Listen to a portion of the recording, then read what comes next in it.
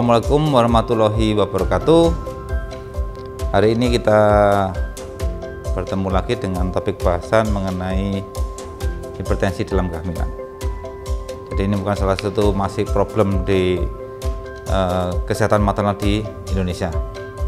Kita bisa dilihat di sini bahwa perkembangan angka kematian ibu di Indonesia masih belum uh, menggembirakan di mana sebenarnya target MDGs tahun 2019 bisa jadi 102 per 100 ribu kelahiran hidup. Ternyata sampai saat ini masih sekitar uh, eh, 350 kematian ibu per 100 ribu kelahiran hidup. Nah kita lihat uh, posisi kita di mana. Di negara-negara ASEAN kita itu masih nomor satu jawaranya Indonesia untuk angka kematian ibu, begitu juga untuk angka kematian neonatal. Kita hanya lebih baik dari Timor Leste. Jadi masih jadi masalah kita yang perlu penanganan bersama maupun pemahaman bersama. Nah, dari angka kematian ibu itu kita bisa lihat penyebabnya di sini, grafik ini. Memang sebagian besar angka kematian sekitar karena perdarahan sekitar 28 persen, sedangkan akibat preeklamsi eklamsi sekitar 24 persen. Artinya dengan dua penyebab ini eklamsi dan perdarahan sebenarnya sudah lebih dari 50 persen. Kalau kita bisa menangani preeklamsi maupun perdarahan dengan baik, kita bisa mengurangi hampir 50 persen angka kematian ibu di Indonesia. Nah, ini situasi di Indonesia ya insiden dari preeklamsi kita 3 sampai 10 persen sangat bervariasi ya berkontribusi pada kematian maternal di Indonesia. Nah, bagaimana dengan luar dari data yang lama ternyata memang e, penurunan angka kematian itu masih segitu-segitu aja. Nah, itu butuh e, suatu effort mulai deteksi dini dari penyakit ini sampai penanganan berikutnya. Nah, kita perlu tahu bahwa hipertensi dalam kehamilan tidak hanya bicara kita mengenai preeklamsi. Jadi preeklamsi itu hanya bagian dari hipertensi dalam kehamilan. Di mana kita bicara mengenai klasifikasi hipertensi dalam kehamilan ada lima. Yang pertama hipertensi gestasional, kemudian preeklamsi ringan yang mungkin nanti kita bahas lagi terminologinya sedikit berubah, kemudian preeklamsia berat, ya kemudian ada hipertensi kronik dan ada hipertensi kronik dengan superimpuls preeklamsi. Itu dari uh, skop dari hipertensi dalam kehamilan, di mana preeklamsi itu sendiri merupakan uh, bagian dari hipertensi dalam kehamilan. Nah, dimulai dari awal, yang pertama adalah hipertensi gestasional, artinya hipertensi yang hanya terjadi pada kehamilan dengan tensi lebih dari 140 per 90 tanpa disertai protein uri. Murni ya. Sedangkan preeklamsi ringan disertai protein uri satu positif pada preeklamsia berat dengan tensi lebih dari 160 per 110 ada protein uri lebih dari dua positif adanya uri hiperrefleksi gangguan penglihatan dan lain-lain sebagainya.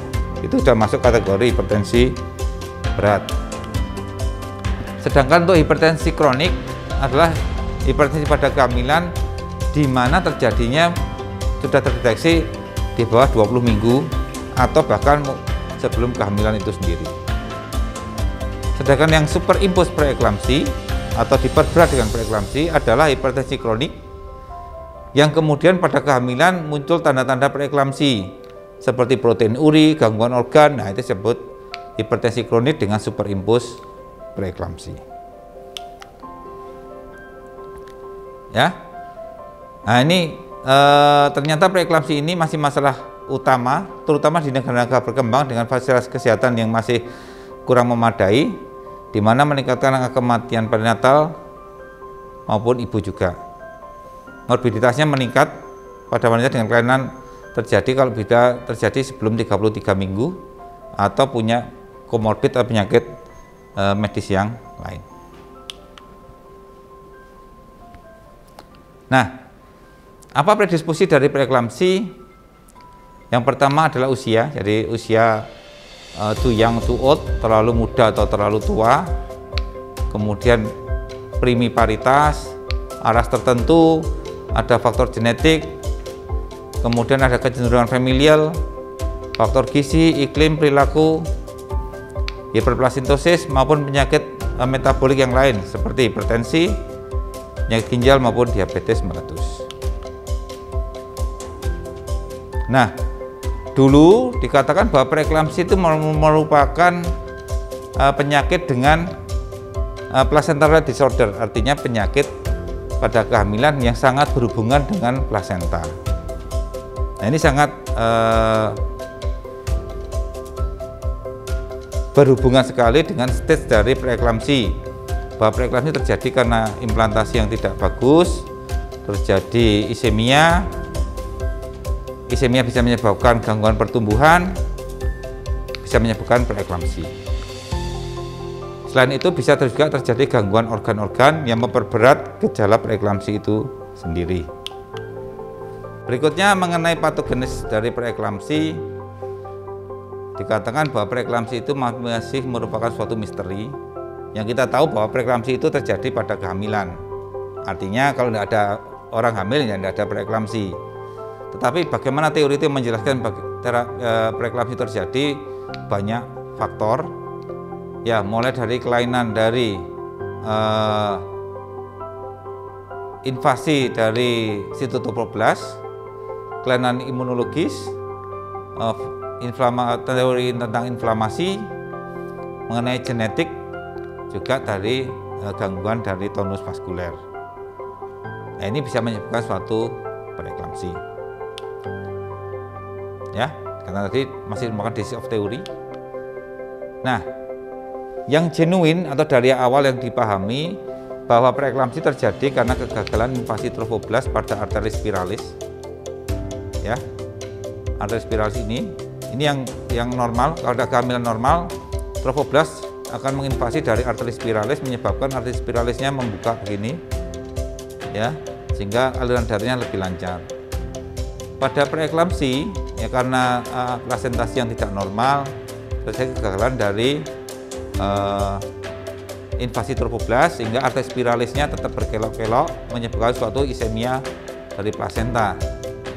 Itu terjadi pada tahap awal tahap satu berikutnya akibat dari sini terjadi pengeluaran zat-zat uh, oksidatif stres kemudian sitokin dan sebagainya akan masuk ke pembuluh darah maternal yang akan menyebabkan suatu disfungsi endotel, kemudian respon inflamasi yang akhirnya terjadi preeklamsi.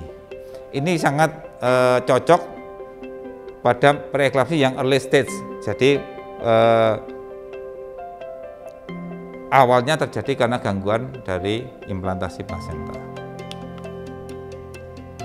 Nah, pada tahun 2014 oleh Christopher Redman dari UK diperbarui tadi lagi bahwa kalau tadi uh, teori aplikasi pada dua tahap ini menjadi enam tahap walaupun intinya hampir sama yang pertama tahap pertama adanya maternal toleransi pada paternal antigen yang ini terjadi sebelum uh, kehamilan kemudian tahap kedua adalah uh, rendahnya ekspansi trofoblast pada sirkulasi hemokorial Tahap ketiga terjadi remodeling artery spiralis yang tidak bagus.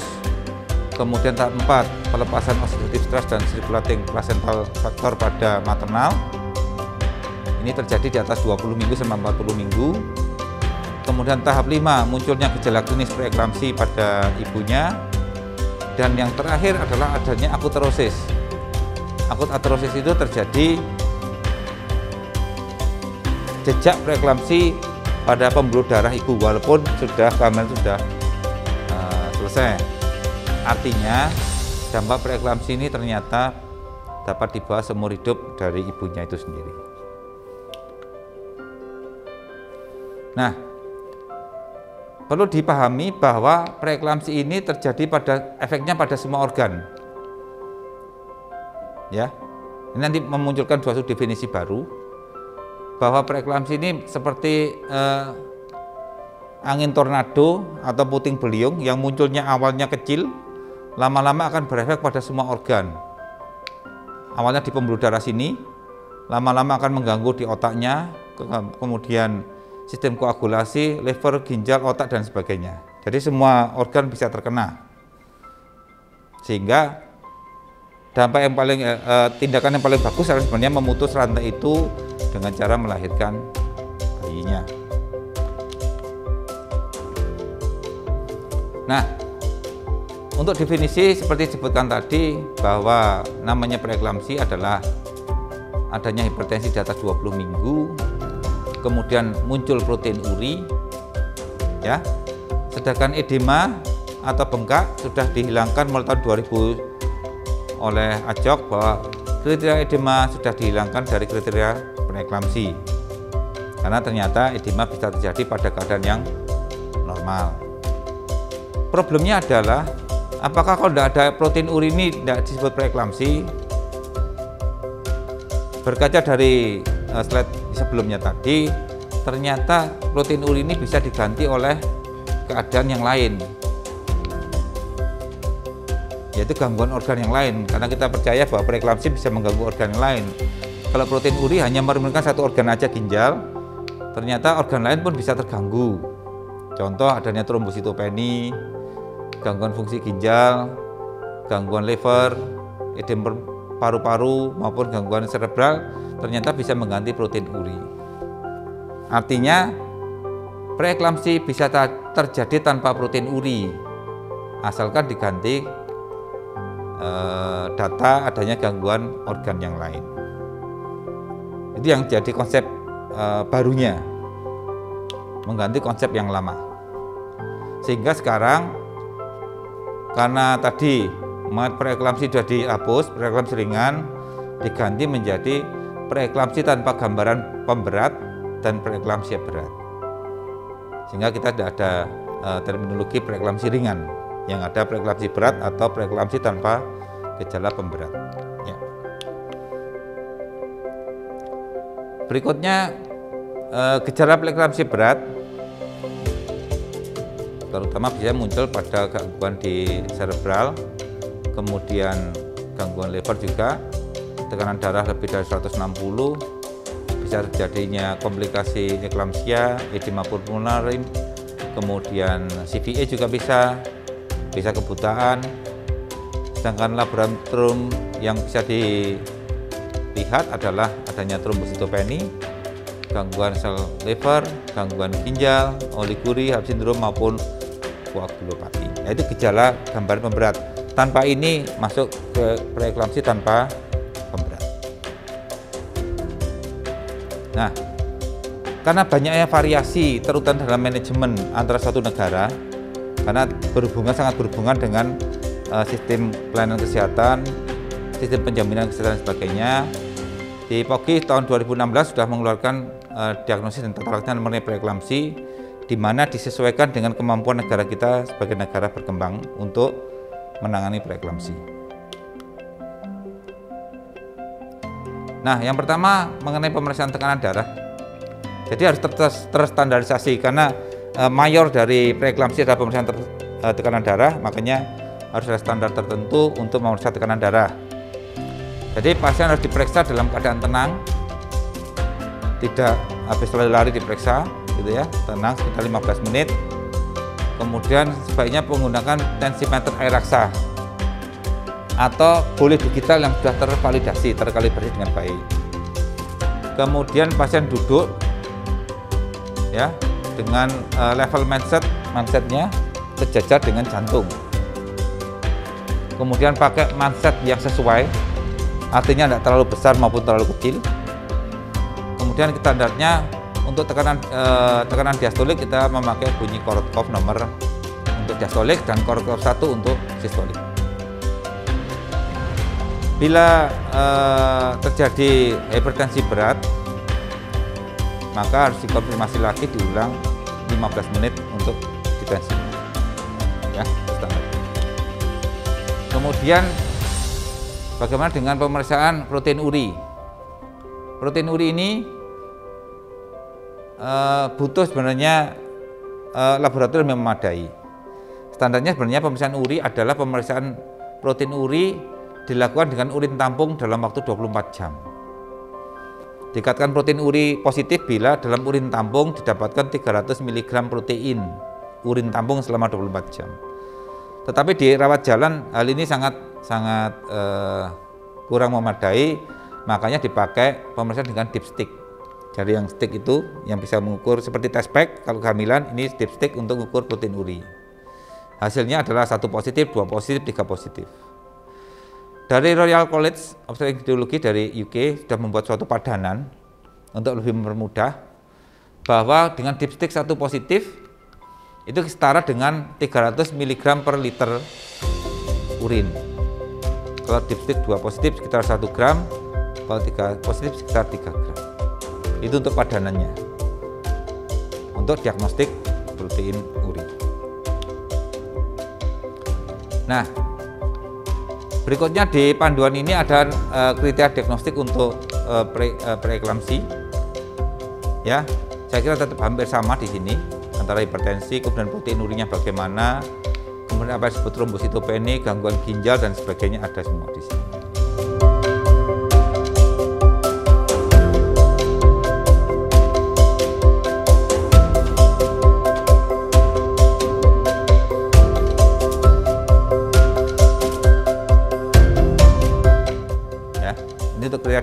Dari preeklamsi.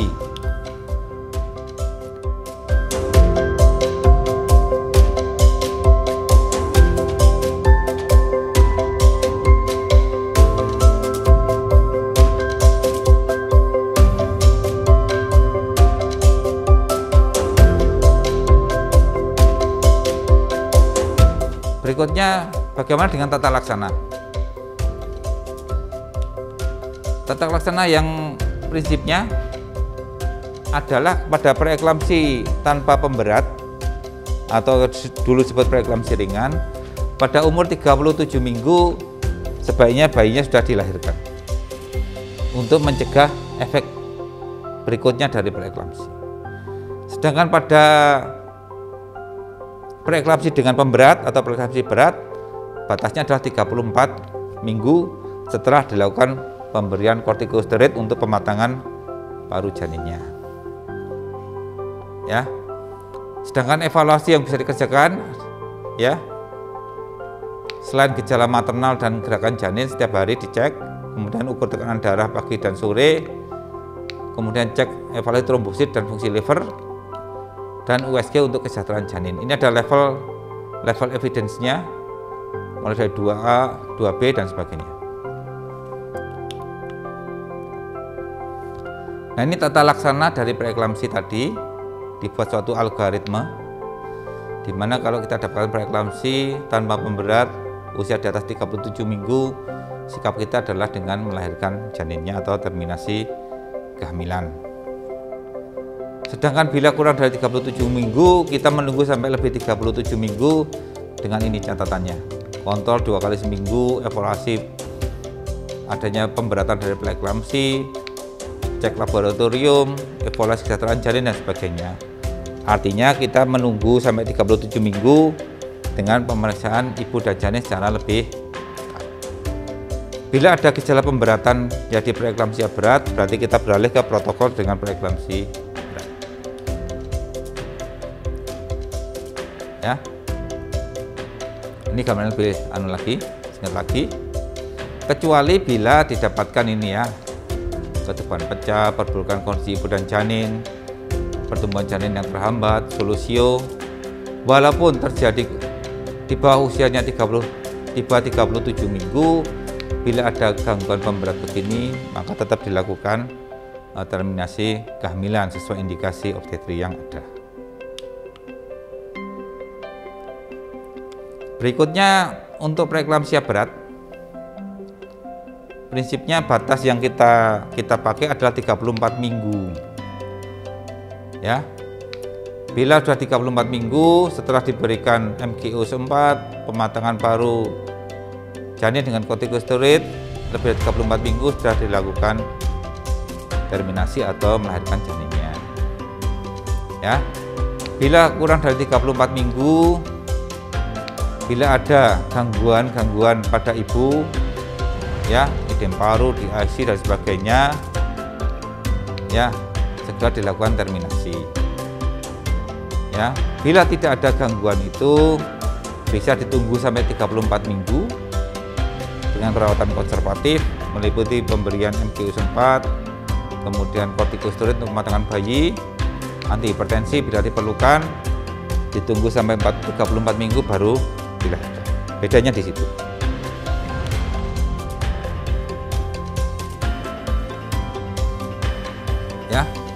ini manajemen ekspektatif artinya manajemen ekspektatif itu bila didapatkan usia kehamilan kurang dari 34 minggu tadi. Ya diperbaiki diberikan maturasi paru dipantau apakah ada perburukan.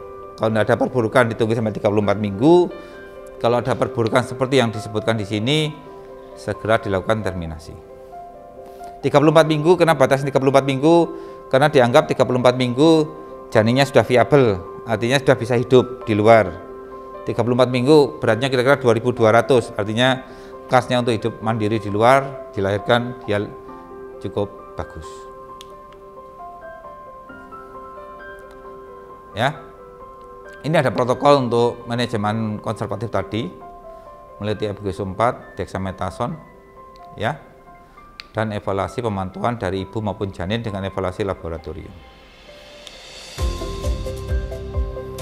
Nah, kriteria apa yang bisa dipakai atau patokan? Kalau kita mau terminasi ada dua parameter data maternal maupun data janin. Kalau data maternal contoh pada hipertensi yang tidak terkontrol artinya dengan burukan anti hipertensi hipertensinya masih tidak terkendali. Kemudian gejala preeklamsi yang tidak berkurang mungkin ada gejala ke arah eklamsi kemudian penurunan fungsi ginjal yang progresif, ada HELP syndrome, edem paru, eklamsi dan sebagainya dilakukan terminasi. Walaupun bayinya masih kecil. Ya. Sedangkan dari data janin didapatkan pada usia di atas 34 minggu ada pertumbuhan janin terhambat oleh goitramnion, profil biofisiknya kurang dari 4, ada deselerasi di NST-nya, dengan pemeriksaan Doppler velocimetry, ada reverse and diastolic flow dan sebagainya itu dilakukan terminasi. Ya. Ini adalah komplikasi yang sering terjadi pada preeklamsi. Nomor satu ada eklamsi dan HELP syndrome, nomor dua, dua, dua ini. Jadi momok kita karena bisa meningkatkan angka kematian ibu. Kemudian adanya udem paru, CVA atau stroke, fetal distress, gangguan pertumbuhan janin maupun oligohidramnion. Nah, sekarang bagaimana dengan eklamsi? Eklamsi itu adalah kejang pada ibu hamil. Diktumnya adalah semua kejang pada ibu hamil harus dianggap sebagai suatu eklamsi sampai terbukti tidak. Artinya untuk penanganan darurat pertama adalah ditangani sebagai suatu eklamsi pemberian MGU sempat, stabilisasi dan sebagainya. Kalau ternyata ada gejala apa ada penyakit lain yang menyebabkan kejang contoh e, epilepsi dan sebagainya tidak apa-apa. Artinya dari awalnya sudah kita tata laksana sebagai eklamsi. Jadi eklamsi ini berupa kejang tonik dan klonik ya. Durasinya antara 30 sampai 60 detik dan akan berhenti sendiri Artinya kita tidak perlu terlalu panik dengan kejang pada eklamsi. Asal kita bisa menjaga ibunya jangan sampai trauma. Nanti 30-60 detik dia akan berhenti sendiri. Sehingga dikatakan bahwa sulfas magnesikus bukan untuk menghentikan kejangnya, tapi sulfas magnesikus adalah untuk mencegah kejang berikutnya. Kemudian kejang ini bisa disertai gangguan kesadaran, ya. Kadang dapatkan aura mata kabur, bayangan dan sebagainya sebelum terjadi kejang. Kemudian komplikasi yang berikutnya yang uh, cukup sering adalah uh, HELP syndrome. HELP syndrome adalah singkatan hemolysis elevated liver enzyme low platelet count. Artinya adanya hemolisis, kemudian didapatkan peningkatan liver enzim dan juga penurunan dari trombosit. Ada dua kriteria yang di umum dipakai, klasifikasi Mississippi maupun Tennessee. Dua-duanya ditemukan oleh dokter dari Amerika sana. Kalau Mississippi ada kelas 1, 2, 3 parameter yang dipakai adalah jumlah trombosit LDH dan SGOT SGBT ini kriteria yang lebih simpel lagi sebenarnya pakai kriteria dari TNC ini hanya dua, dua, dua kelompok yaitu kelas yang lengkap maupun tidak lengkap. Kalau ada kelainan dari tiga parameter tadi disebut klasifikasi lengkap atau komplit dari Rett syndrome kalau salah satu tidak terpenuhi namanya incomplete health syndrome atau partial health syndrome. Nah penanganan health syndrome sendiri ada dinamakan dexamethasone rescue yaitu pemberian dexamethasone dengan dosis yang cukup besar dilakukan sebelum kita melakukan terminasi kehamilan. Ini indikasinya dosisnya diberikan dexamethasone adalah 2 kali 10 mg dalam 24 jam kemudian di tapering off jadi 2 kali 5 mg tanpa memperdulikan jumlah trombosit ya artinya nanti trombosit akan naik sendiri pemberian trombosit hanya dipertimbangkan bila akan kita melakukan tindakan operatif atau kadar trombosit di bawah 50 ribu per desiliter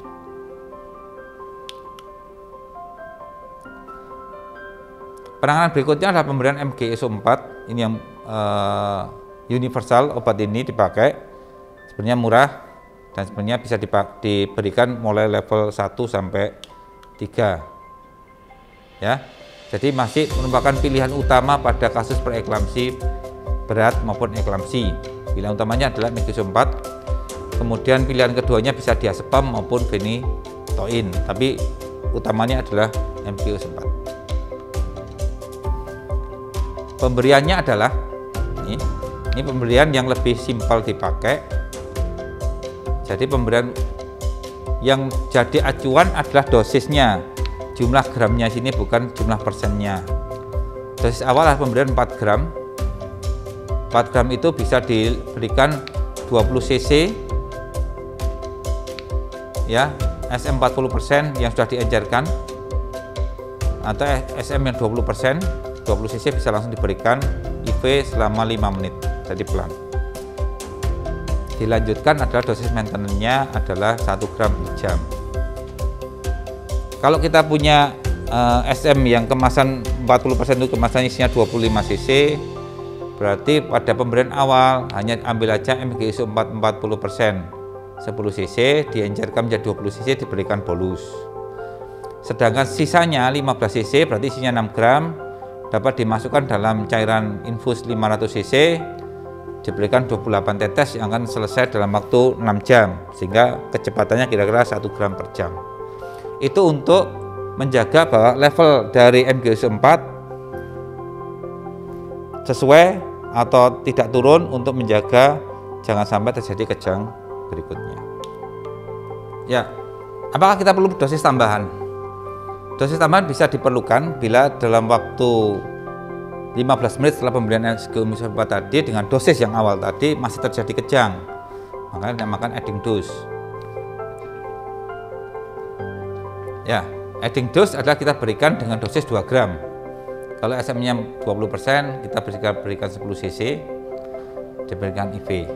Artinya untuk meningkatkan uh, level dari MgO4 dalam darah untuk mencapai uh, level anti kejang. Nah ini adalah level dari MgSO4. Di dalam darah kita itu ada MgSO4 kita satu setengah sampai 2 mg per liter.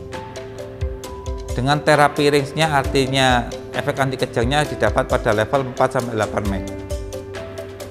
Ini memang tergantung dari uh, berat badan tubuh ibunya. Idealnya memang kita memantaunya dengan pemeriksaan darah untuk mencapai level ini untuk mencegah kejang ya.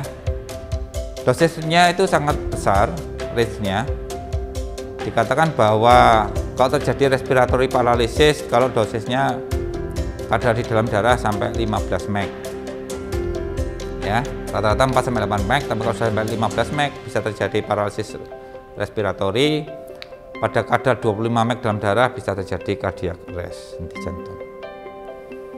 Pada pemberian awal tidak ada kontraindikasi. Ya, seperti ini. Kalau terjadi kelebihan bisa menyebabkan kelemahan otot skeletal, depresi nafas, cardiac arrest dan sebagainya. Pada pemberian awal tidak ada kontraindikasi karena pemberian awal hanya untuk mencapai ini 4 8 mg. Kadarnya bisa berlebihan bila pada pemberian berikutnya kita tidak memperhitungkan ekskresi dari MGS4 lewat urin.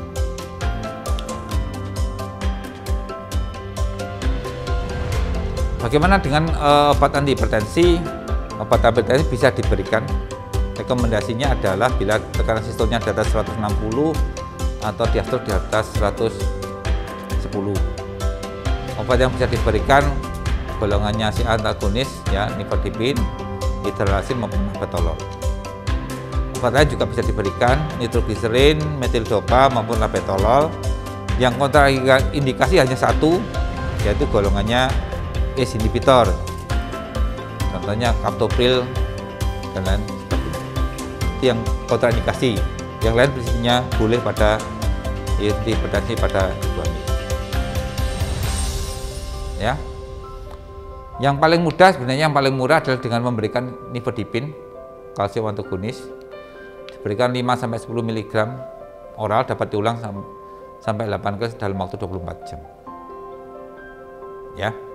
Bila tidak berespon, bisa diganti obat lain golongannya labetalol atau dikombinasi dengan obat-obat lain seperti golongannya metil dopa. Sedang untuk penanganan eklamsi, ini gawat daruratnya Prinsipnya adalah uh, stabilisasi dari pasiennya, kemudian diberikan obat anti kejang atau mencegah kejang berikutnya, kemudian diberikan perawatan untuk mencegah komplikasi, ya, yang terakhir adalah ini, melahirkan bayi. Jadi eklamsi indikasi ibu untuk melahirkan bayinya tanpa memperdulikan umur kehamilannya. Ya, ini perawatannya yang perlu dipahami, tempatkan pasien di ruang isolasi dengan pencahayaan yang terang, kemudian e, tempat tidurnya cukup lebar, ya. Jangan sampai pasien itu kejang, dia jatuh terjadi trauma berikutnya. Kemudian kepala lebih rendah atau miring untuk menghindari aspirasi. Berikan sudip litah atau tong spatel untuk mencegah e, lidahnya tergigit. Kalau bisa difiksasi badannya dengan ikatan pada uh, rel dari tempat tidur dan tempat rel tempat tidur selalu terkunci. Ini untuk mencegah pasiennya jatuh atau mendapat trauma dari eklamsi. Kemudian kalau ada koma kita perawatan koma seperti pada umumnya. Kemudian juga perawatan menyulit ya. Kita konsultasikan pada uh, divisi yang terkait. Sikap terhadap pada kehamilannya yaitu dengan terminasi kehamilan.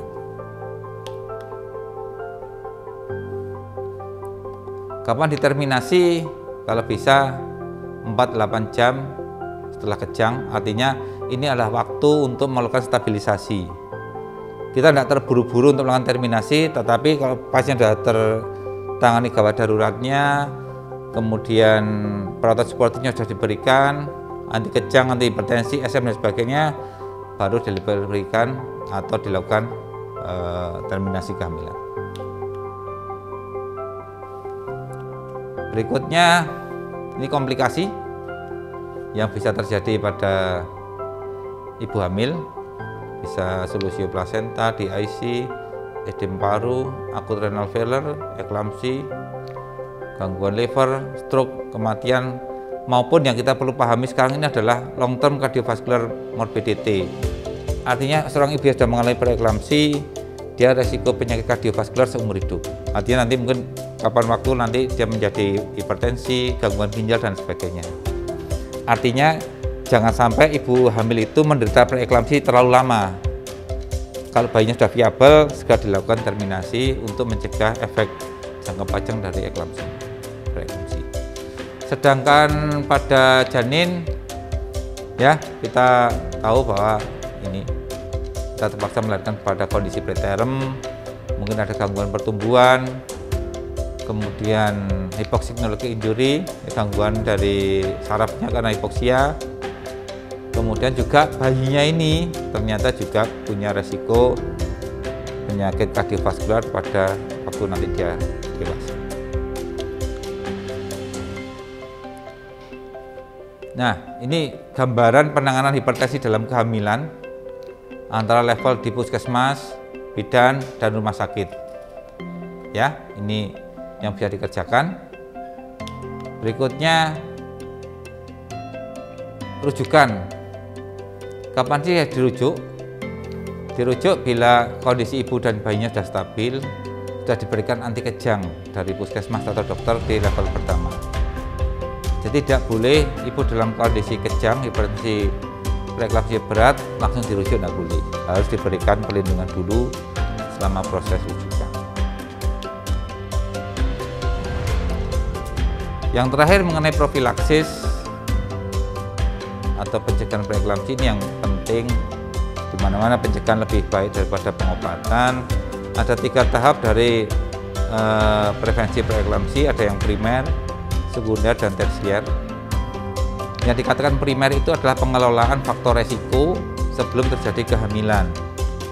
Artinya kalau kita punya faktor resiko harus dikelola dengan baik dulu. Mungkin ada diabetes, hipertensi dan sebagainya dikelola dengan baik. Kemudian kalau ini umur ekstrim, kalau bisa jangan kawin terlalu muda, hamil terlalu muda atau hamil pada udah usia yang sudah tua kalau primi gravida tidak mungkin ya. Nah, primi ini kalau bisa memang rekomendasinya adalah benar dari Australia dikatakan bahwa pada yang hamil pertama sebaiknya butuh waktu antara menikah atau hubungan seksual pertama kali sampai hamil butuh waktu sekitar 6 bulan untuk meningkatkan toleransi pada antigen paternalnya. Ya. Atau kalau kita tidak mau preeklamsi ya sudah tidak usah hamil. Artinya tidak mungkin terjadi preeklamsi. Berikutnya adalah sekunder. Bagaimana kalau sudah terlanjur hamil, kita punya faktor resiko untuk preeklamsi, jangan dicegah jangan sampai terjadi preeklamsi. Kalau pencegahan tersier, kalau sudah terlanjur terjadi preeklamsi, jangan sampai timbul komplikasi yang bisa menyebabkan morbiditas dan mortalitas pada ibu maupun janin. ya itu primer tadi. Kemudian pencegahan sekunder bisa dengan deteksi dari MAP nya ya. Ada banyak eh, pencegahan sekunder bisa dengan biomarker ya mulai dari FIT1, PFPE dan sebagainya tapi itu relatif mahal sangat tidak cocok untuk negara kita bisa dengan eh, yang lebih gampang dengan pengelolaan faktor resiko tadi maupun dengan pengukuran MAP. Bisa juga dengan pertimbangan BMI maupun uh, rollover test. Tapi sekarang lagi in atau lagi banyak dikerjakan adalah dengan pengelolaan faktor resiko dengan kartu scoring maupun dengan pengukuran MAP sebagai pencegahan sekunder. Bila dari screening ini ibu ini dikatakan resiko terjadi preeklamsi, maka segera diberikan golongannya uh, aspirin dosis rendah, low dose aspirin dosisnya sekitar 150 mg pada malam hari mulai usia di bawah 16 minggu sampai 36 minggu kehamilan. Itu meningkatkan resiko terjadi preeklamsi dan meningkatkan eh, menurunkan pembiayaan dari ibu. Ya. Kemudian pencegahan tersier tadi ya, mencegah komplikasi dengan early terminasi.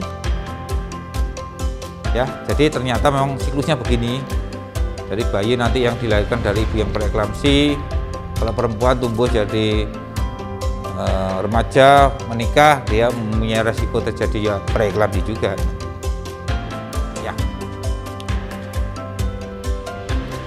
ini daftar pustaka yang bisa dilihat.